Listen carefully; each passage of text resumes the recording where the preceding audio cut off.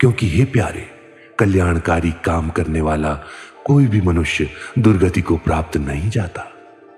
वह योग भ्रष्ट पुण्य कर्म करने वालों के लोगों को प्राप्त होकर और वहाँ बहुत वर्षों तक रहकर फिर यहाँ शुद्ध श्रीमानों के घर में जन्म लेता है।